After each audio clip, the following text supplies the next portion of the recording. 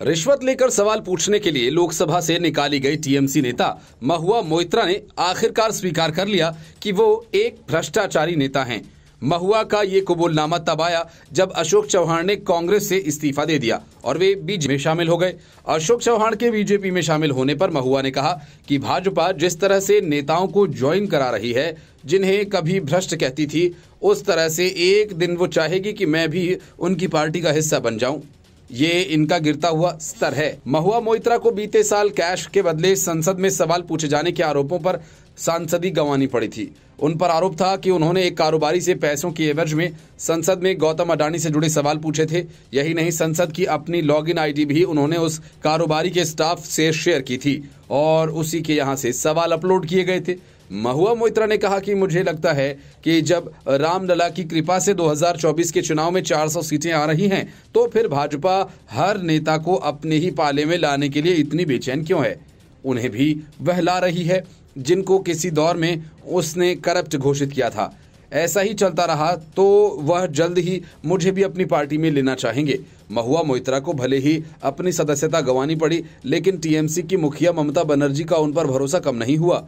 उन्होंने महुआ की तरफदारी करते हुए कहा कि महुआ को निलंबित करने से उन्हें ही फ़ायदा होगा। ममता के रवैये से माना जा रहा है कि महुआ मोइत्रा एक बार फिर से कृष्णानगर लोकसभा सीट से मैदान में उतरेंगी, जहाँ से वह सांसद थीं। जिन अशोक चौहान को लेकर महुआ मोइत्रा ने तंज कसा है, उन्हें आदर्श हाउसिंग घोटाला के चलते सीएम पद छोड़ना पड़ा था।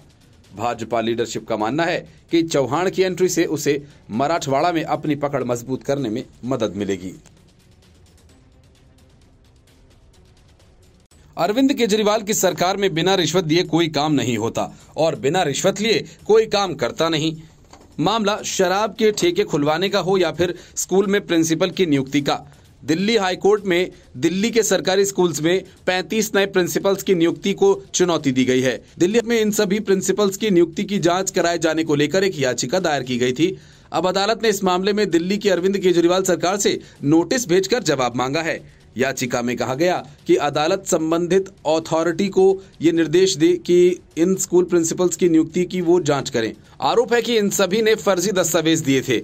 अदालत में कार्यकारी मुख्य न्यायाधीश मनमोहन और जस्टिस मनमीत पीएम अरोड़ा की बेंच ने दिल्ली सरकार के अलावा यूपीएससी और प्रिंसिपल से भी इस याचिका पर जवाब मांगा है। अदालत में इस मामले की सुनवाई 8 जुलाई को होगी। इस याचिका में आरोप लगाया गया कि इन सभी 35 अभ्यर्थियों ने किसी तरह मैनेज किया और खुद को गलत तरीके से प्रेजेंट किया और इनकी नियुक्ति गैर कानूनी तरीके से हुई थी। याचिका में कहा गया कि दिल्ली सरकार का शिक्षा विभाग इन सभी द्वारा दिए गए दस्तावेज़ की स्क्रूटनी करने में पूरी तरह से नाकाम रहा। इसकी वजह से इनकी गलत तरीके से नियुक्ति हुई। सुनवाई के दौरान याचिकाकर्ता नवेंदु चैरिटेबल ट्रस्ट के वकील ने दावा किया कि उनके पास कुछ अन्य प्रिंसिपल्स को लेकर भी सबूत है। अदालत ने इससे पहले याचिकाकर्ता से कहा था कि जिनके खिलाफ आरोप लगाए गए हैं, उन्हें भी इस केस में पार्टी बनाया जाए। याचिकाकर्ता ने आरोप लगाया कि इन सभी 35 प्रिंसिपल्स ने फर्जी सर्टिफिकेट दिए। याचिका में कहा गया कि इनके परिवार का सालाना आय 8 लाख से भी ऊपर है। कुछ अन्य ने ओबीसी कोटे का फ़ायदा गलत तरीके से उठाया और फर्जी एक्सपीरियंस सर्टिफिकेट दिखाए। याचिकाकर्ता ने कहा कि उन्हें तो सिर्फ़ कुछ ही फर्जी नियुक्तियों का पता चला है। कई और भी अवैध नियुक्तियाँ हो सकती हैं। याचिका में कहा गया कि व्यापक पैमाने पर गलत चयन की वजह से उपयुक्त कैंडिडेट की नियुक्ति नहीं हो सकी। ये संविधान की धारा 16 का उल्लंघन है। ये कैंडिडेट प्रोबेशन पीरियड पर हैं और एक लाख पचहत्तर हज़ार से ज़्यादा वेतन भी ले रहे हैं। अगर ये भी स्थायी हो गए तो इनकी जाँच भी जटिल हो जाएगी। और इस स्कैम की वजह से वास्तविक तौर पर उपयुक्त कैंडिडेट बेरोजगार रह गए। याचिका में कहा गया, ये दिल्ली सरकार के एजुकेशन डिपार्टमेंट का काम है कि वो भी सभी रिकॉर्ड की जाँच करें, जिसे कैंडिडेट नियुक्ति के समय देते हैं, लेकिन विभाग ने अपनी ज़िम्मेदारी नहीं निभाई। Bureau report news of India संसद का सत्र खत्म हो जाने के बाद एमएसपी दो, पेंशन दो, विश्व व्यापार संगठन से बाहर निकल जाओ जैसी विचित्र मांगों के साथ दिल्ली की तरफ़ बढ़ रहे किसान हिंसक हो चुके हैं। पुलिस के साथ कई जगहों पर उन्होंने झड़प हिंसक की और लेकिन पिछले किसान आंदोलन से सबक लेते हुए सरकार इस पर बेहद सख्त है। बीजेपी के सांसद सुधांशु त्रिवेदी ने इस वजह से कहा कि अभी तो सरकार चाहे तो भी उनकी मांग नहीं मान सकती। सुधांशु ने कहा कि सरकार किसानों के मुद्दे पर संवेदनशीलता के साथ, सतर्कता के साथ काम कर रही है। उनकी ज़्यादातर मांगों को मान लिया गया है और आगे भी सरकार पूरी संवेदनशीलता के साथ काम करेगी। लेकिन आज लोगों को समझना चाहिए, तकनीकी तौर पर इस समय जब लोकसभा का सत्र खत्म हो चुका है, तब कानून की मांग विचित्र है। अब तो कानून की अधिसूचना जारी होने वाली है। ऐसे में सरकार अब कोई कानून बनाना भी चाहे तो भी नहीं बना सकती। इसलिए जो लोग इसकी मांग कर रहे हैं, उन्हें इस बिंदु पर विचार करना चाहिए कि जो उनकी मांग है वो आज कानूनी दृष्टि से संभव भी नहीं है। सरकार अब संसद कैसे बुला सकती है? हमारे दो दो मंत्रियों ने बात की और आगे भी प्रतिबद्धता है। किसानों की हर समस्या का समाधान निकाला जाएगा। किसानों और पुलिस के बीच शंभू और खनौरी बॉर्डर पर हिंसा हुई। पुलिसकर्मी घायल हुए। फ़िलहाल यह सिलसिला थमता नहीं दिख रहा। पिछली बार किसान आंदोलन के नाम पर हत्या, रेप, हिंसा न जाने क्या क्या हुआ? आंदोलन के नाम पर अराजकता का नंगा नाच हुआ। लाल किले से तिरंगा उतारा गया। खालिस्तानी झंडा फहराया गया। 2021 में सिंगू बॉर्डर पर लखबीर सिंह नाम के शख्स की बेरहमी से हत्या की गई। आईएसआईएस भी शर्मा जाए। 2021 में टिकरी बॉर्डर पर पश्चिम बंगाल से आई 25 वर्षीय युवती के साथ कथित तौर पर रेप हुआ। बाद में पीड़िता की मौत हो गई। पीड़िता के पिता इंसाफ की गुहार लगाते रहे। आंदोलन के दौरान दिल्ली की सड़कों पर अराजकता का माहौल रहा।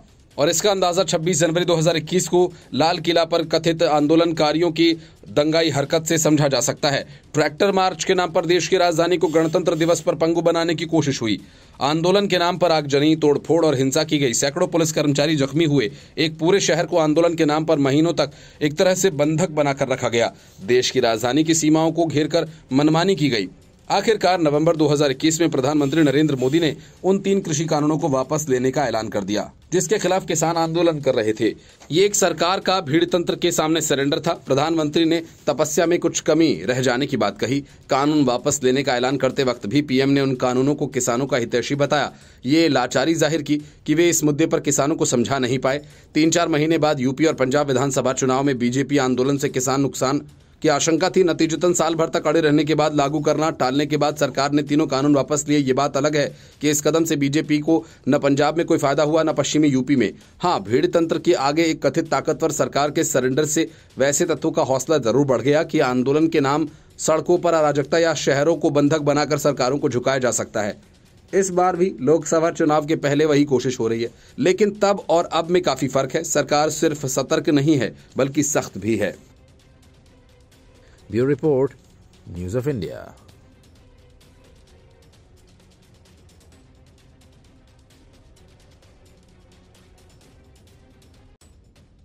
2019 में राहुल गांधी को अमेठी में मिली करारी हार से सोनिया गांधी इतनी घबरा गईं कि उन्होंने रायबरेली से चुनाव लड़ने की जगह राज्यसभा का रास्ता चुन लिया।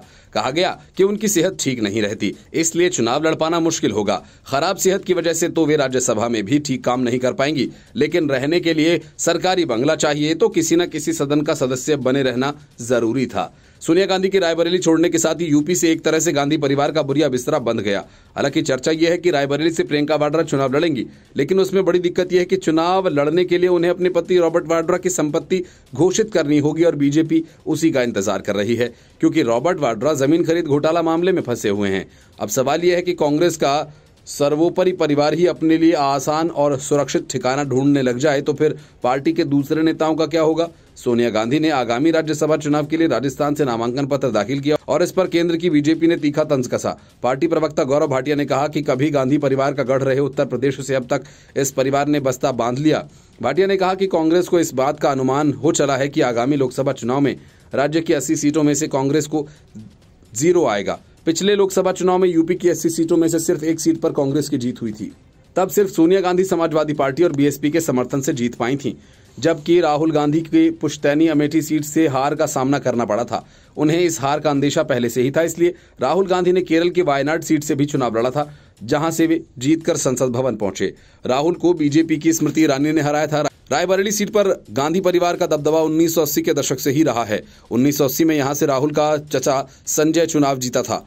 उनकी मौत के बाद राहुल के पिता राजीव गांधी ने उपचुनाव में यहाँ से जीत दर्ज की। इक्यानबे में निधन के बाद गांधी परिवार के करीब सतीश शर्मा ने यहाँ से चुनाव जीता था। बाद में उन्नीस सौ निन्यानवे में सोनिया गांधी जीती 2004, 2009, 2014 का लोकसभा चुनाव राहुल ने यहाँ से जीता था। उन्नीस सौ निन्यानबे में कांग्रेस अध्यक्ष का पद संभालने के बाद सोनिया गांधी पहली बार अमेठी से सांसद चुनी गई थी। ऐसी चर्चा है कि रायबरेली से इस बार प्रियंका गांधी वाड्रा चुनाव लड़ेंगी। सोनिया गांधी स्वास्थ्य कारणों से चुनाव नहीं लड़ना चाह रही थीं, इसलिए उन्हें राज्यसभा से संसद भेजा जा रहा है। विधानसभा भवन में सोनिया गांधी नामांकन दाखिल करने के समय उनके बेटे राहुल गांधी, प्रियंका गांधी वाड्रा, पूर्व मुख्यमंत्री अशोक गहलोत, कांग्रेस प्रदेश अध्यक्ष गोविंद सिंह डोटासरा, नेता प्रतिपक्ष टीकाराम जूली समेत कई नेता मौजूद थे। कांग्रेस राजस्थान की तीन राज्यसभा सीटों में से एक पर आसानी से जीत हासिल कर सकती है। पूर्व प्रधानमंत्री मनमोहन सिंह का अप्रैल में छह साल का कार्यकाल पूरा होने के बाद ये सीट खाली हो जाएगी। लोकसभा सांसद के रूप में पाँच कार्यकाल पूरा करने के बाद उच्च सदन में ये सतहत्तर वर्षीय सोनिया गांधी का पहला कार्यकाल होगा। Bureau report, news of India. Lok Sabha चुनाव के पहले कांग्रेस को ताबड़तोड़ झटके लग रहे हैं। अशोक चौहान, मिलिंद देवड़ा और बाबा सिद्दीकी के इस्तीफे के बाद कांग्रेस को ताज़ा झटका यूपी में लगा है। देश के पूर्व प्रधानमंत्री लाल बहादुर शास्त्री के पोते विभाकर शास्त्री ने खरी खोटी सुनाने के बाद कांग्रेस से इस्तीफा दे दिया और बीजेपी में शामिल हो गए। उन्होंने सोशल मीडिया प्लेटफॉर्म एक्स पर पोस्ट कर इस बात की जानकारी दी। विभाकर शास्त्री ने कांग्रेस अध्यक्ष मल्लिकार्जुन खड़गे को टैग करते हुए लिखा कि मैं भारतीय राष्ट्रीय कांग्रेस की प्राथमिक सदस्यता से अपना इस्तीफा देता हूँ। कांग्रेस पार्टी को छोड़ने के ऐलान के कुछ देर बाद ही उन्होंने बीजेपी का दामन थाम लिया। इस दौरान यूपी के मुख्यमंत्री ब्रजेश पाठक मौजूद थे। विभाकर शास्त्री ने बीजेपी पार्टी ज्वाइन करने के बाद कहा कि मुझे लगता है कि पीएम नरेंद्र मोदी के नेतृत्व में मैं लाल बहादुर शास्त्री के जय जवान, जय किसान के दृष्टिकोण को और मज़बूत करके देश की सेवा कर पाऊँगा। बीजेपी में शामिल होने के बाद विभाकर शास्त्री ने आगे कहा कि मेरे लिए बीजेपी के दरवाजे खोलने के लिए पीएम नरेंद्र मोदी, अमित शाह सीएम योगी आदित्यनाथ और ब्रजेश पाठक के प्रति आभार व्यक्त करता हूँ। मुझे लगता है कि मुझे मेरे दादा लाल बहादुर शास्त्री के दृष्टिकोण को आगे बढ़ाने का अवसर मिलेगा। मैं पार्टी नेतृत्व के निर्देशों के अनुसार काम करूँगा। उन्होंने कहा कि इंडी गठबंधन की कोई विचारधारा नहीं है। इसका उद्देश्य केवल पीएम मोदी को हटाना है। उन्होंने राहुल गांधी से सवाल करते हुए कहा कि राहुल गांधी को बताना चाहिए कि कांग्रेस की विचारधारा आखिर है क्या। Bureau report, news of India. शराब घोटाले मामले में फंसे अरविंद केजरीवाल की मुश्किलें बढ़ती जा रही हैं। पाँचवें समन के बाद केजरीवाल यह सोचकर बैठे थे कि ईडी तो उनकी शिकायत लेकर कोर्ट चली गई है, इसीलिए अब वो समन नहीं भेजेगी। लेकिन ईडी ने केजरीवाल को चौंकाते हुए उन्हें छठा समन भेजकर 19 फरवरी को हाजिर होने को कहा है। ईडी के कोर्ट का दरवाज़ा खटखटाने के बाद आम आदमी पार्टी और खासतौर से आतिशी मलरेना ने ईडी के खिलाफ आरोप भी लगाए। दो फरवरी को सीएम अरविंद केजरीवाल ईडी के पाँचवें समन के बाद पूछताछ में शामिल नहीं हुए थे, जिसके बाद ईडी ने समन का पालन न करने को लेकर उनके खिलाफ एक नया मामला दर्ज कराया था। आम आदमी पार्टी के संयोजक अरविंद केजरीवाल ने इससे पहले ईडी के समन को अवैध और राजनीति से प्रेरित बताया था। उन्होंने आरोप लगाया था कि ईडी उद्देश्य उन्हें चुनाव प्रचार करने से रोकना था। ईडी की शिकायत पर कोर्ट ने अरविंद केजरीवाल को समन जारी कर दिया है और उन्हें अदालत ने 17 फरवरी को कोर्ट में हाजिर होने को कहा है। लेकिन अदालत में केजरीवाल के हाजिर होने से पहले ईडी ने समन जारी कर आम आदमी पार्टी में खलबली मचा दी है। शराब घोटाले से जुड़े मनी लॉन्ड्रिंग के मामले में प्रवर्तन निदेशालय के भेजे गए पाँच समन का केजरीवाल ने अब तक कोई जवाब नहीं दिया।